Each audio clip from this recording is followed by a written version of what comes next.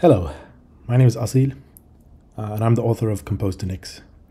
Uh, Compose to Nix is a tool that aims to make it easier to run Docker Compose projects on NixOS. Uh, the idea is we want to use as much of NixOS functionality as possible, um, especially if it's redundant. Um, that is, you know, it's available in Docker Compose, but we can implement it natively in Nix OS. Um, and yeah, you can think of it as a reimplementation where part of it is Nix OS and part of it also is passing flags uh, along based on the compose uh, file uh, provided to passing flags along to the Docker or Podman runtimes. Um, another part of it is that we aim to support both Podman and Docker as container uh, backends, right? So I think um, the audience for Compose Nix in general, in my mind, um, there's you know two uh, major use cases. The first is you're coming to NixOS and you have this Docker Compose project of yours that you like to run, um, which it used to run fine on Ubuntu or Debian or um, Fedora or whatever. Uh, could be a Linux distribution, could be even on Windows. Um, and now you want to run this Docker Compose project on NixOS. Um, you could uh, just use Docker Compose on NixOS, um, but there really isn't a clean way uh, to integrate it with the system. Um, it's not, and, and primarily because NixOS is not aware, or rather Nix, the build system, is not aware of the internals of Docker Compose. Docker Compose does a lot of stuff internally. Uh, you know, it, it marks services as dependencies to one another. It, it sets up volumes, sets up network networks, uh, and so on. And uh, that's all opaque to NixOS. The goal of Compose to Nix is kind of to bring this up to the surface so that NixOS is aware, um, such that, for example, you make a change to one service, could be you add an environment variable to that service. Ideally, NixOS would only restart that service. Right? We don't want NixOS to go ahead and run a Docker Compose down because it saw a change in the compose file and then run a Docker Compose up. It's too disruptive, right? Uh, so yeah, it's just more clean integration with NixOS. That's the goal. Um, that's one use case. You're coming, it's kind of greenfield. You're coming onto NixOS. You have your existing uh, Compose project, and you don't want to port it to NixOS. You just want to use it as is and maybe port it later. The second use case is to run applications that are kind of non-trivial um, in the sense that they consist of multiple moving parts, multiple services. Um, they're not natively packaged, neither on Nix packages nor on NixOS as services. Um, and they officially provide a Docker Compose project as an installation method. Um, we will walk through an example of such a project and how that would look on NixOS um, in this video. Um, so yeah, those are the two use cases. If you fit into one of these buckets, I think Compose Nix is the tool for you. Um, so yeah, give it a shot, try it out. Um, and uh, there's a lot of, uh, obviously we don't implement all of Compose, um, but you can refer at the very bottom of the README to this matrix here. You can see what's supported. Uh, in theory, because we use, like Compose Nix uses the uh, actual uh, Compose library under the hood, anything that Compose can support, we should be able to support. However, uh, there's little asterisks there. Um, there are things that can be complicated to support, right? Given some of the limitations of NixOS and how this is all set up. So, just if you see something is not supported, feel free to file an, an issue, and uh, I can take a look. Uh, but uh, that's an overview of Compose to Nix. Uh, next, I'll move on to kind of a demonstrative example of an actual project you might want to run and uh, how that would look. Um, so today we're going to try out running this self-hosted photo server called Immich. Um, we will head over to the website here um, and you'll see that the website itself in the installation section uh, it surfaces Docker Compose as its recommended installation method um, which, yeah, that's great for us. Um, so we'll go ahead and follow these steps one by one.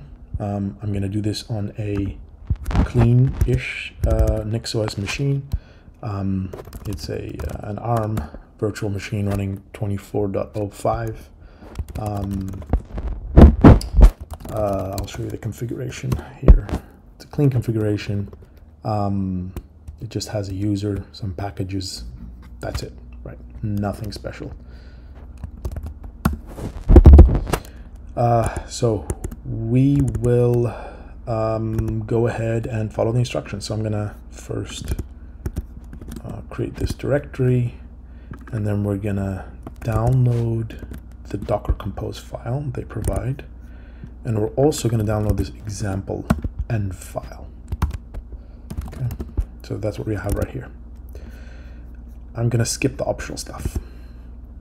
Okay, um, and we just need to run one command here. It's pretty simple. We, you know, Compose2Nix tries to simplify this as much as possible.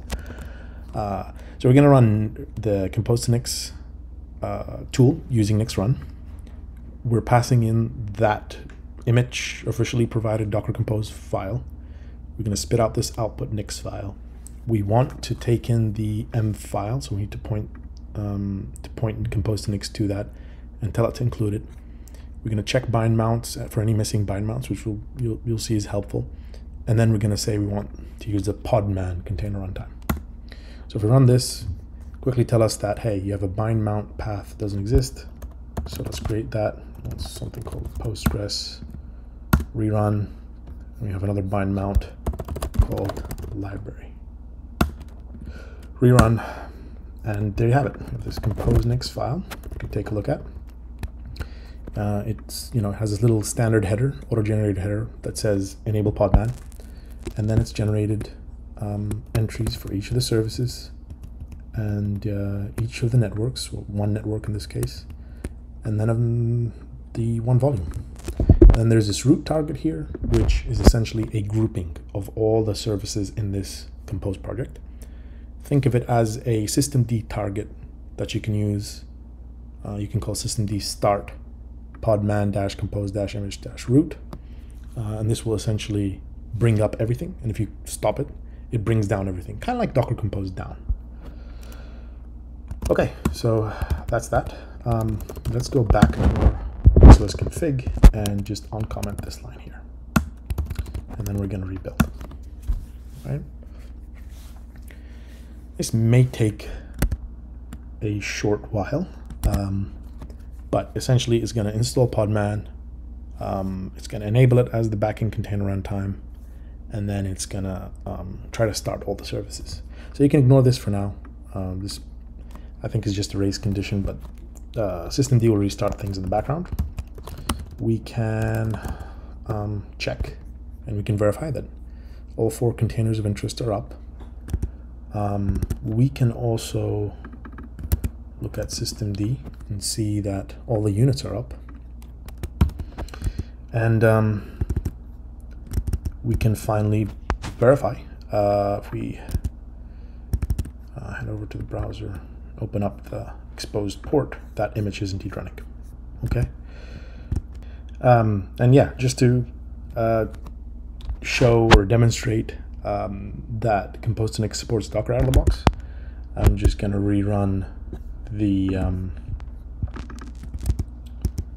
I'm going to run the same command with the runtime set to Docker and then I'm going to rebuild um, and hopefully everything will come up. Uh, it's not installing Docker right now because it's already in the Nix store. I, I ran um, the command earlier, but you can see it stopped the podman prefix units and generate generate new units prefixed with Docker.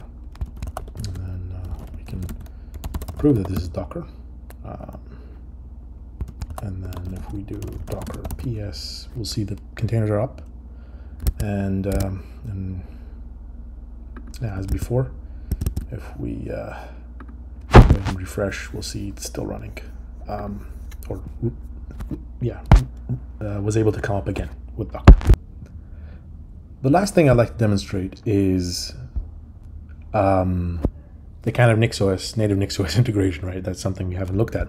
So what we'll do here is we will um, open up this compose file and let's see. Uh, we'll add an environment section uh, where we'll just define an env var and call it my var, set it to 100 or 1000. Um, and we will regenerate the config. Um, we can open that up to ensure um, that the uh, the variable is there. You can see it my var equals uh, 1000. Um, and then we'll do a, uh, a rebuild. Um, and if we look at the rebuild, hopefully we'll see that Nix will detect that there's only one container that's changed, which is the server container. And um, and uh, we'll only stop that service and start it again. So um, hopefully that demonstrates kind of the native NixOS integration where whenever you change something in your compose file, compose to Nix uh, will regenerate only um, will, will regenerate your config such that only uh, it will only update the relevant systemd services that are impacted. And then from there, because NixOS can see the whole picture, it can figure out, oh, okay, it's just this service that's changing, so I just need to restart this. I don't need to restart anything else in the Compose project. Um,